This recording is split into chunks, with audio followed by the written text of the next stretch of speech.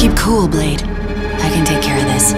Blade. You and I, we're gonna finish things.